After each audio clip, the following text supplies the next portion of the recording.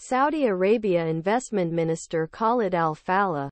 Riyadh. Riyadh. Future Investment Initiative Conference in Saudi Arabia during the opening session of the 26th of October 2021. Ahmed Yosri file photo This week we will see that Saudi Investment Minister Khalid Al Falih at the Bloomberg New Economy Forum Singapore.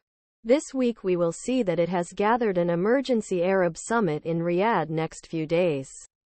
You will see that Saudi Arabia has collected an Islamic summit in a few days, said. Falih also said that Saudi Arabia would collect a summit with African countries without setting a date. Reporting Tom Westbrook.